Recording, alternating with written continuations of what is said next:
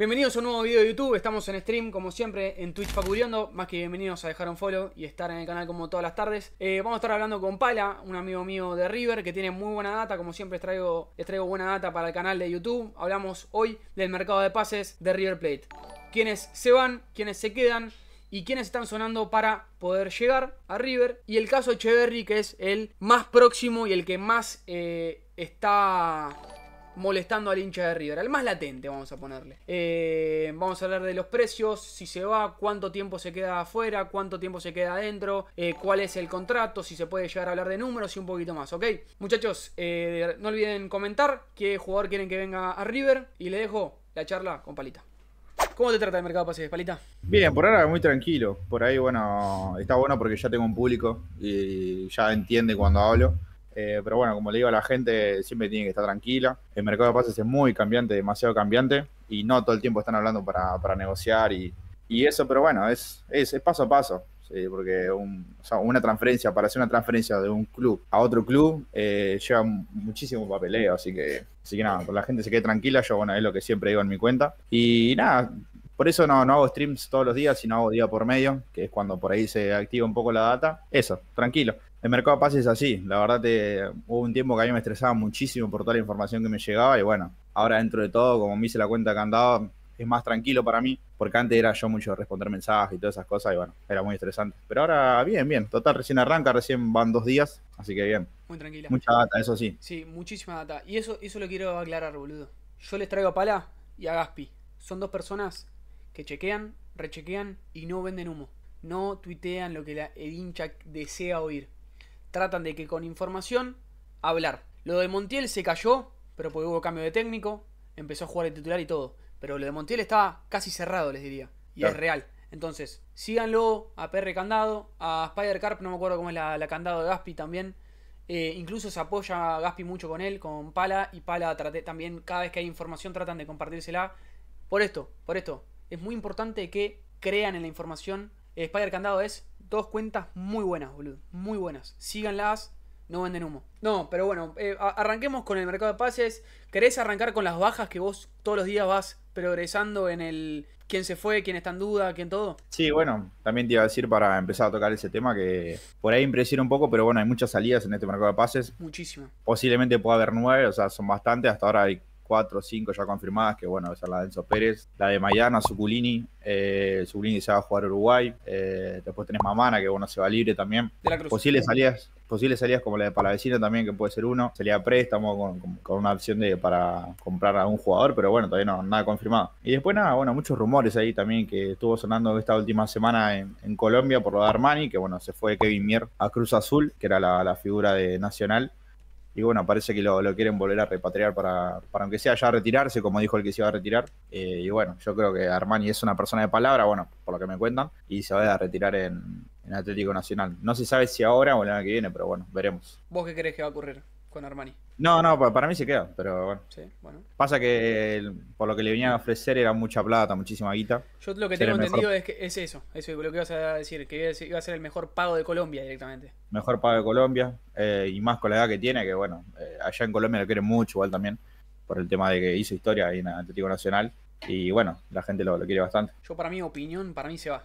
Para mí, o sea, por ahí se influye mucho la familia, que la, la, la, mujer se quería ir bastante, para mí se puede ir, pero... Por eso. Yo no, no lo veo, para mí juega en Libertadores más y se va. Ah, bueno. ¿Qué querés hablar ahora? Vamos por lo, los que están cercanos a llegar, los que están en carpeta.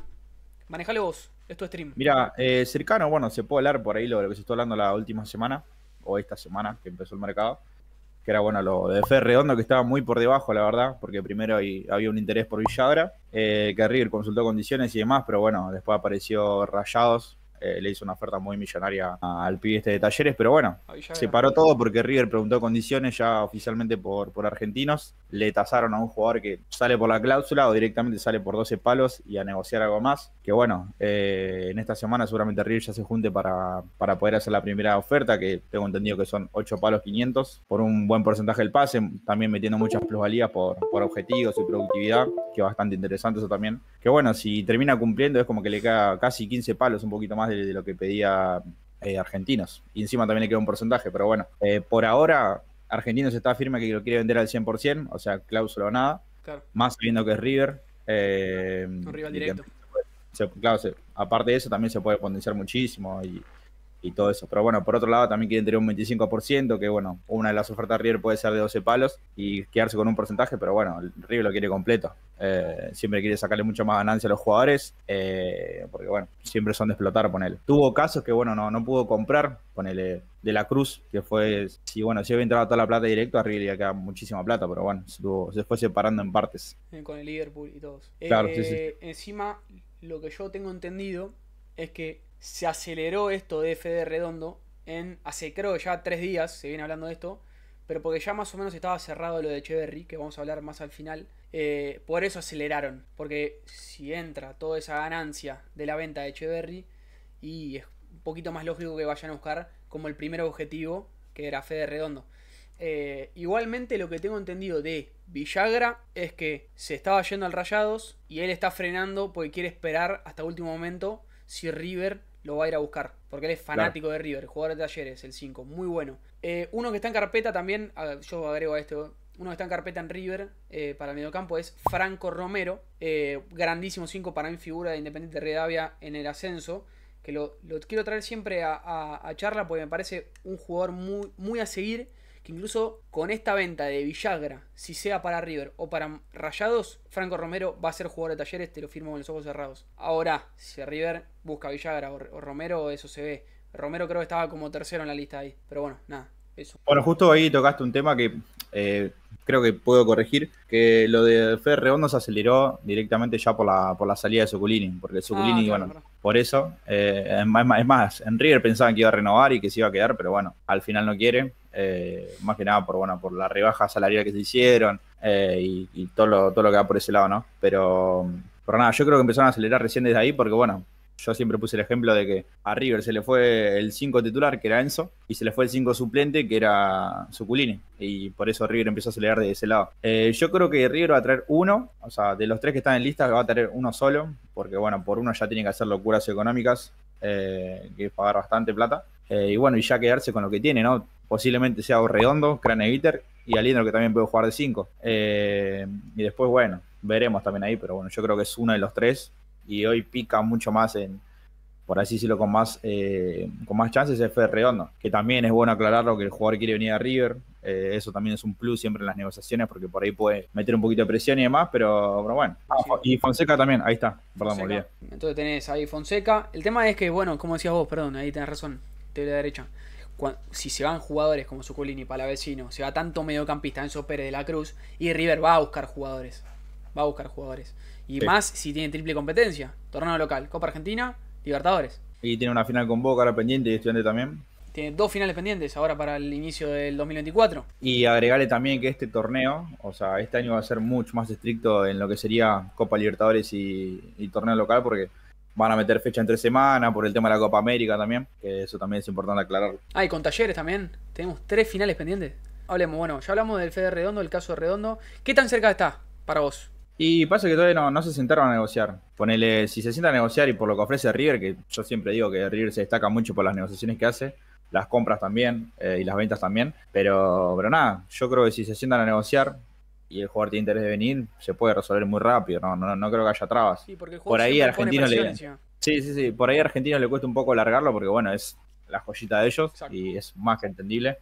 Pero bueno, eh, veremos qué onda. Después también aclarar, que porque hay mucha gente que por ahí eh, no entiende mucho el concepto así de, las negociaciones o de las ventas, que eh, la plata de la Cruz y la posible plata de, de, Echeverry o de algún jugador más que se venda, recién se va a poder usar para la copa que viene. O sea, perdón, para el semestre que viene, o sea, sería mitad de año. Por el tema de que las ventas se tienen que aprobar primero en la comisión directiva, que eso tarda un mes a veces en, negociarse. Pero siempre pasa lo mismo. Está bueno, yo siempre me gusta yo no sabía eso. Sí, sí, yo siempre eh, aclaro estas cosas por la duda, ¿viste? Porque hay gente que empieza a putear a la dirigencia y empezar a decir, eh, no, no se guarden la plata de la cruz y demás. Eh, imagínate que hace poquito, hace dos meses, recién se aprobó la, la venta de, Enzo Fernández, para que te des un ejemplo. A la mierda. Yo buena sí, sí. Tarda muchísimo por el tema de que son muchos números. Además por las condiciones de pago y arriba le sigue entrando plata por el tema de, cómo fue la compra del Chelsea. Eh, y también se tiene que seguir aprobando porque eso tiene que quedar como redactado en una carta. Eh, pero bueno, Pero plata y pala, sí. Plata hay. Sí, sí, plata hay, plata hay. Plata hay, pues estaba, River- entonces está, en ese River- caso estaba Julián, Beltrán, Enzo, hay, hay ventas. Sí, sí, sí. River tiene plata, pero no es que va a gastarse todo. Eh, esto de, bueno, el superávit está bien, pero bueno. Un superávit tiene que mantener un, montón de gente que labora en el club, a, la gente que también eh, es profesora, ponele. Tiene que mantener todo. No River no es solamente fútbol, sino que tiene un montón de disciplinas. Y tiene un montón de empleados también.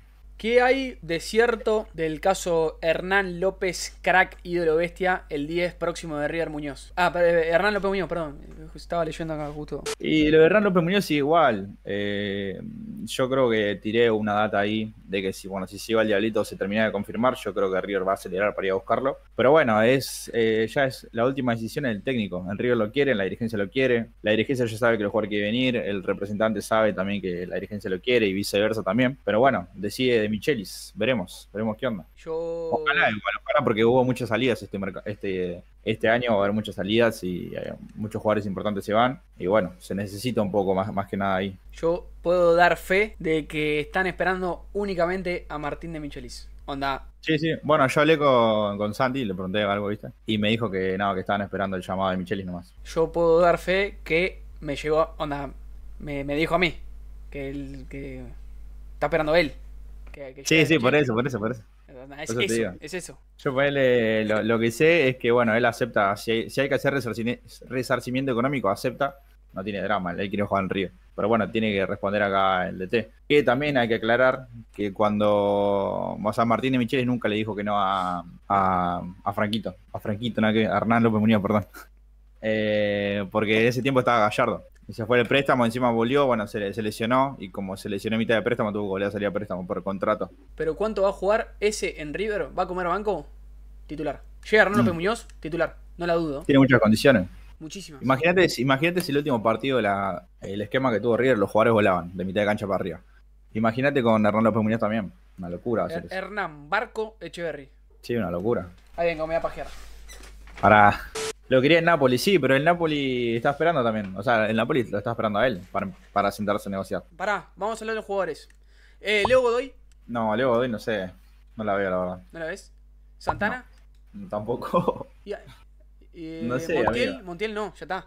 No, Montiel no, yo no lo veo ahora. A- Ahora encima jugó de titular otra vez, jugó un partidazo ayer. Ayer. ¿no? Sí. Sí, sí, sí. Y además, bueno, cambiaron de técnico y bueno. El técnico anterior le había dicho que no lo iba a tener en cuenta y bueno, como campeón de técnico es otra cosa. Eh, pero bueno, qué Lo, sé yo. lo leíste ya, te preguntaron. ¿Bustos? Bustos no, todavía nada. Recién arranca con el mercado de pase. Hay muy poca data. Muy poca data. Y porque River primero quiere cerrar el 5, que es lo más importante. Pienso yo hoy. Pero bueno. Y fue Enzo Pérez. Y además es, es una joyita redonda. Sí, banco, banco. Vamos a querer buscarlo ahora. Eh, ¿qué, qué hacemos? El, el lateral derecho en 2024. ¿Qué juega? ¿Pablo Díaz? Eh, no, no, no. ¿Boselli? Para mí van a ir- buscar un 4, sí, pero, o sea, primero lo que quieren hacer es priorizar cerrar a Redondo, por sí o por no, y después ir a buscar por otros lados. Ok. Ponerle Redondo por ahí es la, es la figurita difícil del mercado, ponerla ahora, porque lo quieren también de afuera. Pero River sabe que le- levanta el teléfono con Leo Godoy y ya viene, ¿entendés? Es así. Pero bueno, el complicado por dentro de todo es, es, es Redondo por la cláusula, por, por cómo se tienen que dar los pagos, las condiciones y todo eso. Che, delantero. Eh, ¿Se sabe algo? ¿Al- ¿Algún carpetazo? ¿Algo para decir? Del Lo 9? único que se sabe es lo de Galario. Después, ¿Qué se sabe posiblemente. No, es lo, lo del precontrato. Lo mismo que se, se dijo hace un par de semanas. Lo mismo. Él está esperando igual la oferta de afuera, así que veremos. Pero bueno, es entendible, es un jugador joven. Y casos renovación. Hablo como Suku ya está diciendo vos que se va. Se va a Nacional de Uruguay. Eh, Héctor David Martínez le están pidiendo que se quede, ¿no? Sí. Eh, pasa que, que no jugó nunca con De Michelis. Creo que jugó dos partidos nomás. Un partido contra Rosario Central y perdimos. A De Michelis le interesa. Le quiere dar rodaje. Además piensa que la pretemporada le va a servir a él. Así que veremos. Coincide, es un jugador ahí- recontra. a- recuperable a puede ser, sí. Pasa que o sea, por ahí tiene la, la mala suerte de que ya está roto, pero bueno, veremos qué onda ahí, ¿viste? Pero yo creo que si un DT, sabiendo que él también juega en posición de defensa central y confía en un jugador así, por ahí le, le- lo puedo ayudar un poco, pero bueno, Eh, yo creo que le, le, deposita toda la confianza ahí. ¿Qué pasó con el caso Matías Suárez y su renovación? Eh, bueno, Matías Suárez no iba a renovar por el tema de, de- de cómo eran los pagos eh, y, y cómo le iba a pagar River y el tema de la continuidad y todas esas cosas. Y al final terminó aceptando esa oferta Porque que era como Y porque no apareció ningún club. Porque no apareció ningún club, incluso se, había, no lo busca se, nadie. se- se sintió una molestia de vuelta. Sí, sí, es más, mira, River todavía, o sea, no lo cerró 100% ahora la firma, igual que la de González Pires. Eh, pero bueno, recién la semana que viene se va a saber y después ahí en esa semana al mismo tiempo van a saber si tiene ofertas o no. Yo tengo entendido que la dirigencia no le quieren renovar, pero bueno, a pedido del DT es ya cuando el DT pesa mucho la palabra. Así que veremos. Eh, ¿qué, qué nombraste acá de González Pires? No, que González Pires le van a hacer un contrato, le van a renovar el contrato la semana que viene. Bien, Cuando vuelvan todas vacaciones. claro. antes de ir a, antes de ir a la pretemporada, tengo entendido que la mayoría tiene que estar con contrato renovado, aunque sea. Eh, el 3 empieza arriba los, los entrenamientos de vuelta y después se van el 10, me parece. 10 de enero. Para, 3 de enero, ¿a dónde se van? No, no, 3 de enero vuelven de, la, de, de las vacaciones. Ok. Y no sé si el 5 o el 10 se van para Estados Unidos. Y después vuelven, porque tienen que jugar torneo local. ¿Con Cano qué onda? ¿Arquero, a- ¿Arquero hay algo en carpeta? ¿Por si Armani? No, no, No se sabe. la verdad que no. No. O sea, o sea el, el único objetivo hoy de River es Fede Redondo. En realidad, ¿Es esta más claro? semana sí. Sí, sí, más claro redondo. Para cerrarlo y bueno. Pero bueno, eh, yo creo que por ahí River negocia en silencio con algún otro. Siempre puede pasar. Pero, pero nada, hoy la prioridad 100% es redondo. Por cómo es el jugador, porque se nota que falta un 5 ahí titular de jerarquía. Eh, y nada, de a poco igual. Porque, como te digo, River tiene mucho peso en el mercado de pases. Es River. River juega todo, además, este, el año que viene. Y también tiene mucho peso y la mayoría de los clubes por ahí o los jugadores lo usan como vidriera porque bueno, malos jugadores no, eh, chicos, ¿no? Que, que son esos que por ahí pueden explotar en, en Europa y todas esas cosas. Bien coincido. Antes Después, bueno, está ah, la, la oferta que le hicieron a Solari, también si quieres hablar de eso. Sí, eso, 10 10 millones le ofrecieron, ¿no? Sí, sí, pero River la rechazó. Insuficiente. ¿Qué opinas? No, está bien, me parece perfecto. River tiene que recuperar lo que invirtió, aunque sea. ¿Cuánto, cuánto había pagado River por Solari? Eh, cinco palos. Ah, Para, entonces ahí recupera. Con 10 millones. Y, pero no, no, no, porque está dividido el pase en, en mitades. Ah, está dividido con Colo Colo y Talleres, ¿no? Claro, Colo Colo y Talleres. O sea, River tiene 60 tenía 60. y el otro 40% es, está dividido entre dos. Y a River ponele que harían 6, pero no le saca mucho jugo dentro de todo. Poco. Eh, Además, yo creo que se va a quedar igual. Yo lo veo muy, muy cómodo en River. Yo lo veo cómodo, lo veo hincha. Yo creo que es un jugador que en segundo tiempo puede dar la talla tranquilamente. Además, de- sí, sí, de- bueno, De Micheli lo quiere, ¿eh? de Michele lo quiere. Le parece un jugador. Porque es Y un- se nota, además, si, si jugó mucho este año. Sí, Vale. encima lo, lo quiere y te das cuenta porque es un, un técnico que le gusta mucho la 4-3-3 con extremos.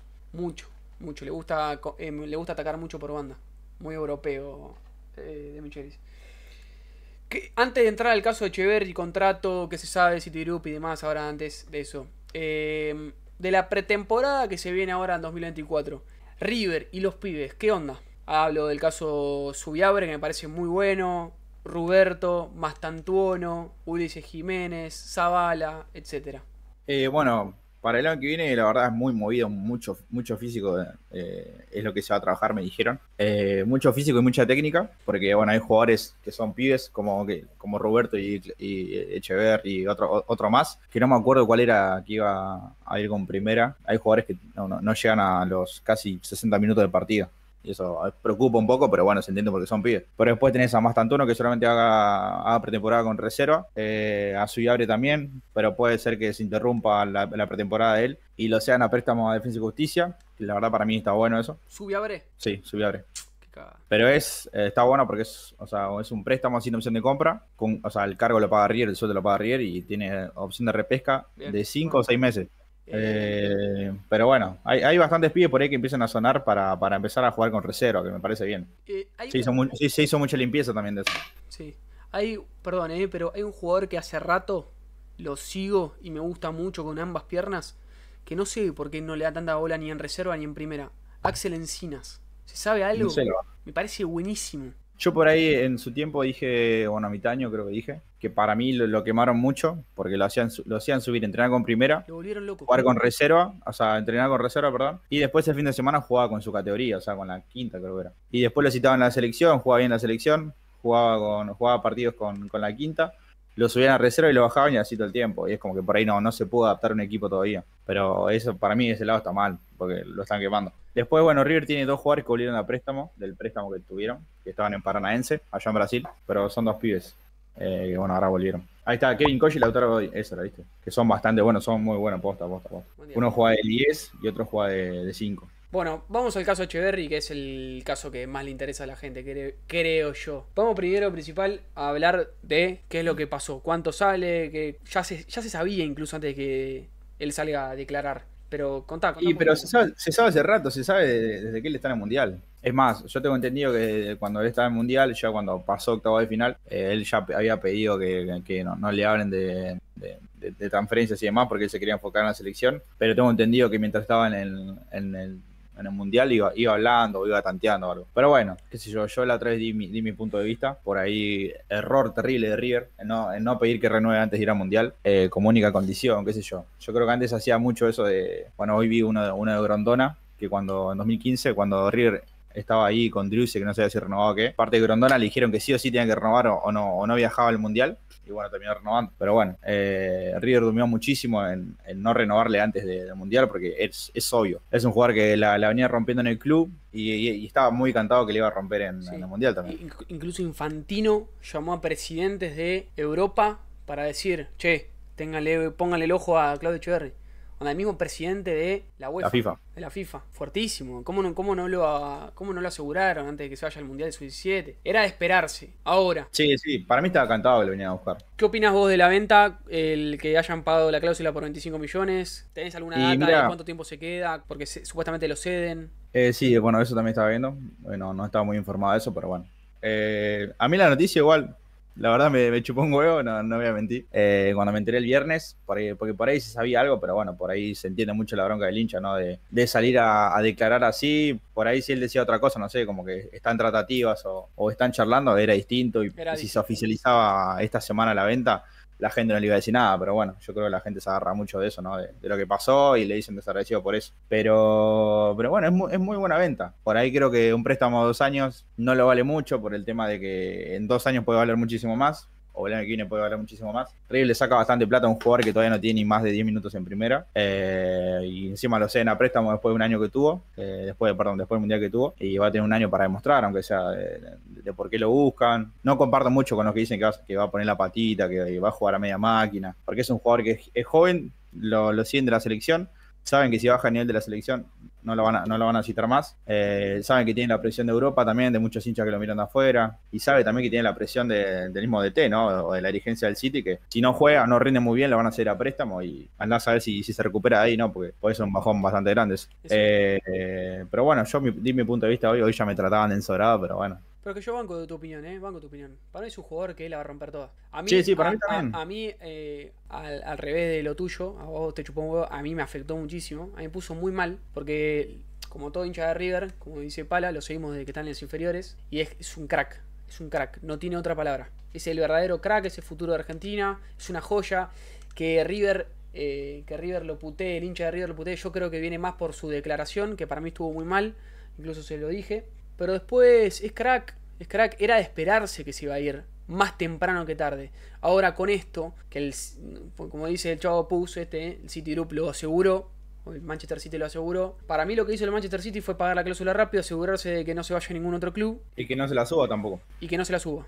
Ese fue el y el problema está ahí en River, la dirigencia que no aseguró elevarle la cláusula, que yo creo que si le ponían en 40 millones hoy, el City no lo hubiese comprado.